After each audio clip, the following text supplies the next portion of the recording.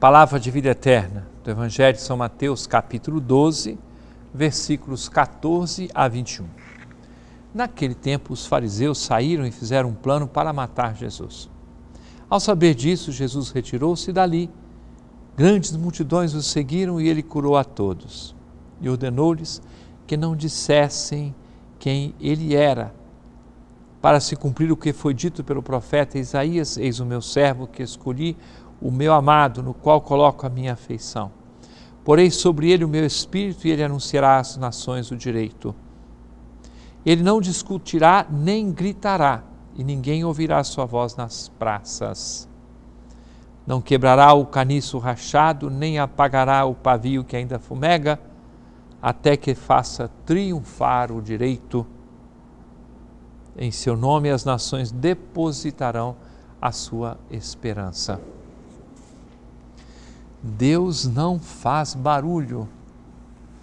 Deus não quer propaganda como se fosse um, reclame de sabão em pó.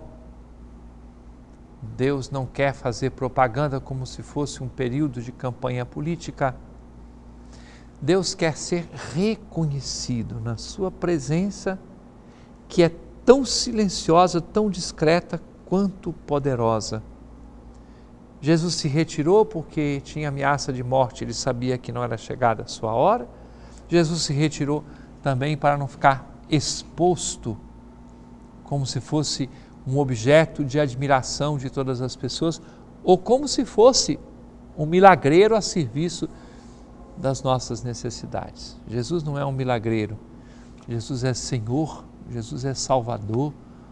Jesus redime todas as pessoas ele traz sentido novo à nossa existência. Pode sim fazer milagres, mas a presença dele, veja se não faz muito bem ao seu coração ouvir aquilo que o profeta Isaías antevia a respeito do, do Messias, que é Jesus. Não discutirá nem gritará, ninguém ouvirá sua voz nas praças, não quebrará o caniço rachado. Que beleza! A cana que está a rachar, ele não acaba de quebrar não apaga o pavio que ainda fumega, até que faça triunfar o direito. O tempo das coisas se esclarecerem, ele chega.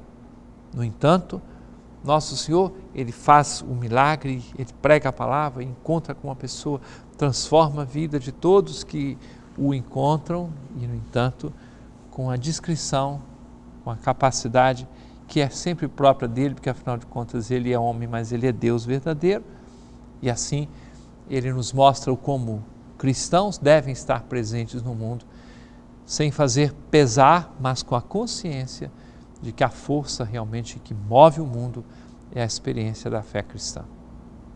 É palavra de vida eterna.